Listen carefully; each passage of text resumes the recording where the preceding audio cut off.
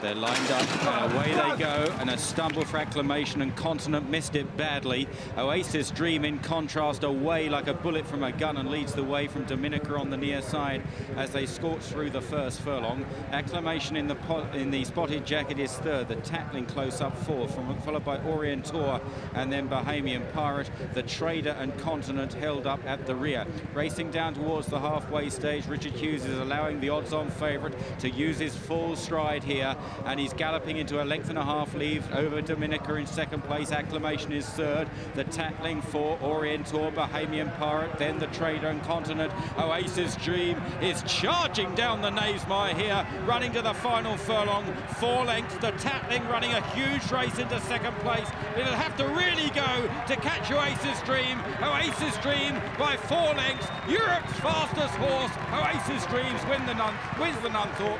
In second, the in third acclamation, Dominica, Orientor, the trader, and Bahamian Pirate and Continent bring up the rear. Never in any doubt at all. Oasis Dream, the 9 to 4 on favourite, and a thoroughly impressive performance here. Reminiscent of some of the great winners of this race.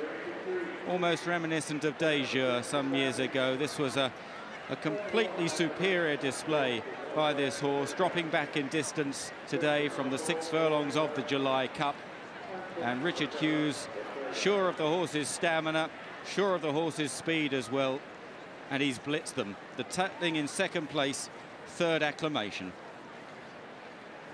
Oasis Dream touched two to one on on the course return the nine to four on favourite Oasis Dream. The runner up the Tatling is a nine to one chance. Acclamation is third, also returned at nine to one. Oasis Dream the 34th favourite in 78 runnings to win the Nunthorpe. The 17th to go on at odds on. Mozart two years ago was odds on. Lyric Fantasy and Dayjur in the 90s. And you go back to Heron's Lee, five to four on in 1931.